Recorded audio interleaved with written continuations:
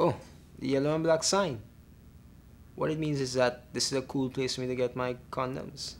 So that my girl and I can be safe. You know, every time.